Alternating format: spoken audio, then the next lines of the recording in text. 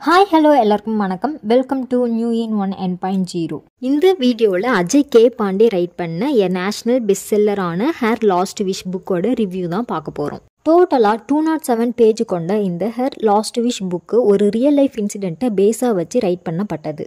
Always try to represent yourself as happy because initially it becomes your look gradually it becomes your habit and one day it becomes your personality அப்படின்னு அடிக்கடி சொல்லக்கூடிய அஸ்தா சர்மா தான் இந்த புக்கோட main character நம்ம Astha Sharma stunning and ஸ்டூடியஸான girl Astha ரொம்ப bold and ஆம்பிஷியஸாகவும் இருப்பாங்க. அஸ்தாவுக்கு ரொம்ப ஷை அண்ட் ஹோப்லெஸ்ஸாக இருக்கக்கூடிய விஜய் கூட மேரேஜ் ஆகுது. இவங்க ரெண்டு பேரும் அவங்களோட மேரேஜ் லைஃப்பை ஹாப்பியாக லீட் பண்ணிட்டு இருக்காங்க. ரெண்டு பேரோட லைஃப் ரொம்ப ஸ்மூத்தாக போயிட்டு இருக்கப்போ திடீர்னு ஒரு நாள் விஜய்க்கு அஸ்தாவுக்கு ஹெச்ஐவி இருக்கு அப்படின்னு சொல்லிட்டு தெரிய வருது. இதில் இருக்கிறதுலே சேடான பாட் என்னன்னா தனக்கு ஹெச்ஐவி இருக்கிறது அஸ்தாவுக்கே தெரியாது. விஜய்க்கு தான் ஃபர்ஸ்ட் தன்னோட ஒய்ஃப் ஹெச்ஐவியால் பாதிக்கப்பட்டிருக்கா அப்படின்னு தெரிய வருது ஒரு நர்ஸ் மூலியமா. தன்னோட ஒய்ஃபுக்கு ஹெச்ஐவி இருக்கிறத தன்னோட ஒய்ஃப் கிட்டேயும் இந்த வேர்ல்டுக்கும் சொல்லாமல் மெயின்டைன் பண்ணிட்டு இருக்காரு.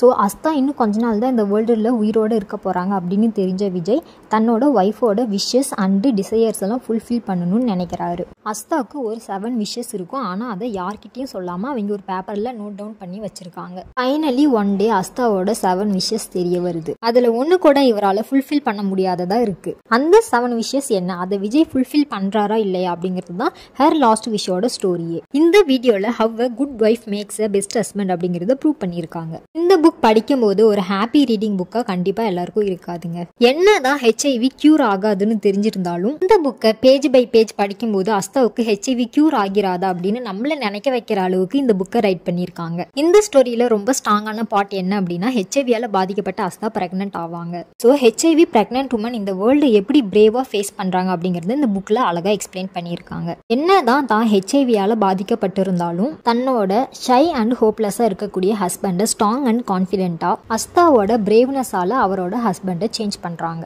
இந்த ஸ்டோரி எதுக்காக எழுதப்பட்டது அப்படின்னு இந்த புக்கோட லாஸ்ட் பேஜ் படிக்கும்போது உங்கள் எல்லாருக்கும் தெரிய வரும்.